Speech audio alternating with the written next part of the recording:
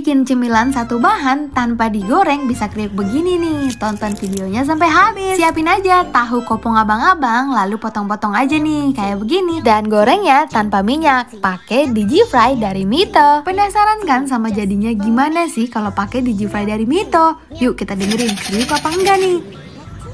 Tuh kan kriuk banget hasilnya. Kalau yang suka pedas tinggal tambahin aja bon cabai dan masako langsung chopper. Nah langsung tuangin aja ke tahunya dan diaduk-aduk. Cemilan satu bahannya pun udah jadi. Kalau yang suka pedas boleh banget nih tambahin bon cabai kayak begini.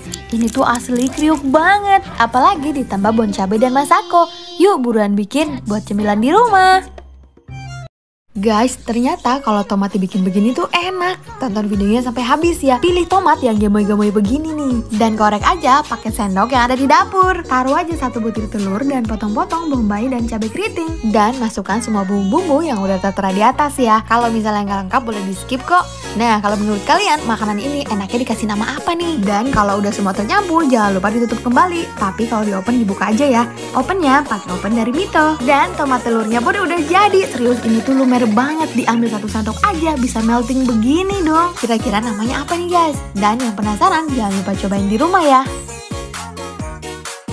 apa itu yang hijau-hijau tapi nggak lumut? Rebus jagung lalu dicoper. Tonton videonya sampai habis ya guys. Biar mantep pakai chopper Mitoshiba. Tuang jagung di pan. Kasih agar, kasih air, kasih gula. Aduk rata dan dinginkan. Lalu masak lagi agar-agarnya. Guys baca sendiri aja karena aku capek ngomong. Gimana guys? Sudah dicatat belum? Pertama warna hijau, kedua warna kuning. Guys ikutin tulisannya aja ya. Kalau bikin ini pasti disayang pacar. Masukin ke freezer buat 5 menit langsung jadi. Ijo-ijo nggak lumut, tapi ijo-ijo manis. Ngiler gak? Lihat agar-agar kayak gini. Rasanya enak, manis, dan gurih. Jangan ngiler guys, coba bikin di rumah. Bon appetito guys.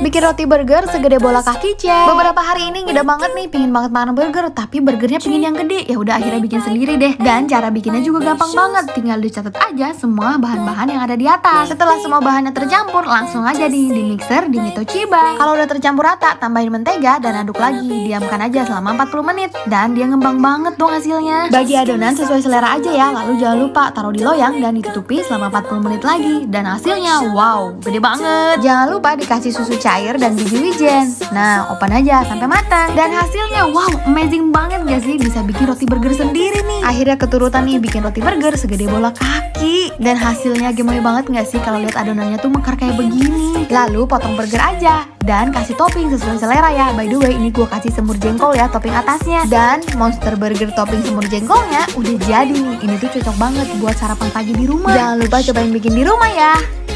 Bikin kerupuk micin yang pasti semua orang suka. Anak micin, kuy kumpul sini. Kita bikin kerupuk micin dari rice paper Vietnam. Gunting-gunting rice papernya sesuai selera aja ya guntingnya. Siapkan minyak panas. Ingat, minyaknya harus panas. Kalau nggak dia nggak bisa megar. Tuh kan, kalau panas tuh jadi megar kayak begini. Nah, ini tuh rasanya tawar banget. Jadi kita langsung siapin aja bumbunya. Yang penting bumbu micinnya Bon cabai dan masako. Di sini gue pakai chopper dari Mito Chiba Kalau udah halus langsung tuang aja di atas kerupuknya. Tuh, aduk-aduk Dan udah jadi deh kerupuk micinnya. Ini tuh beneran rasa micin micin dan kriuk banget.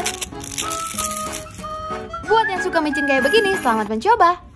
Bikin kue lebaran yang wajib ada di setiap rumah. Kue ini tuh sultan banget, bisa habis 2 juta. Hei, canda juta. Yang nolnya dipacok ayam satu. Di sini gue pakai terigu, butter, dan juga bahan-bahan yang lain. Dan jangan lupa pakai 5 butir kuning telur. By the way, gue bikin kue sultannya ukuran 1 kilo karena di rumah itu hobi banget bikin kue ini. Nah, kalau udah jadi semua kayak begini, tinggal dibulet-buletin aja dan dikasih selai nanas di dalamnya. Udah tahu belum mau bikin apa? Kue ini tuh favorit banget orang di rumah, sampai Michael aja bisa bikinnya. Untuk olesannya, gue pakai pakai gloss pengganti kuning telur. Dan kalau semua udah dioles, tinggal langsung di oven.